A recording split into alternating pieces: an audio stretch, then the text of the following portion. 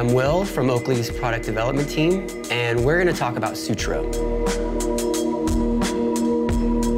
The story of Sutro starts with an opportunity. If you look at our lineup of cycling product, everything is extremely functional, but also very sporty. And something we've observed is a lot of cyclists actually don't want the sporty look, and they're sacrificing function for a look that they prefer. We saw that as a chance to simplify, to maintain a level of function that is needed in cycling, but then add a casual style. And this is where Sutro begins. So the first thing is we started with a cylindrical lens, which is both functional and now giving us some casual style.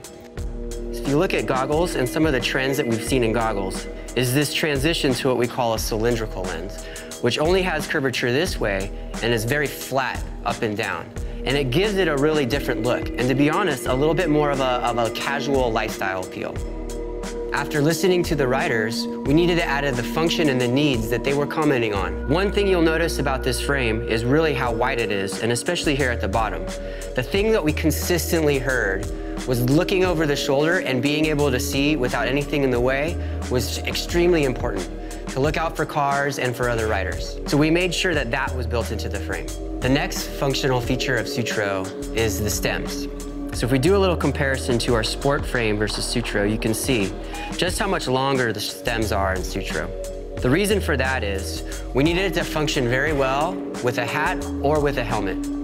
And so these ultra thin stems actually slide under a hat very easy or around the straps of the helmet. The next thing about Sutro is retention, and retention is critical on the nose.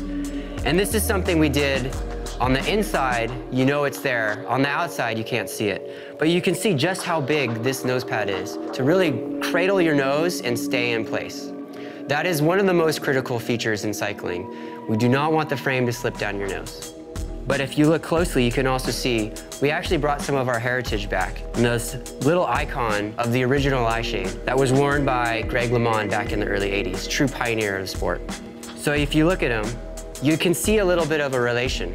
With Sutro, we use modern technology, modern function to make this a better frame. While Sutro is a new look for cycling, it still carries the same level of technology in the lens. And with that is Prizm. In this case, you can see a Prizm road lens that helps you really identify things that you wouldn't normally see out on the road.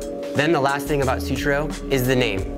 And the name was inspired by our experience with these riders and listening to them and talking to them and actually riding around in the city and seeing what it's like when it's so chaotic with so many cars driving around. And there's actually this mountain right in the middle of San Francisco called Mount Sutro. A little bit of a sanctuary so you can get away from all that chaos and feel kind of like you're, you're protected and safe. And we thought that that was actually very fitting for a pair of sunglasses that'll keep you protected but also look the way that you want to look.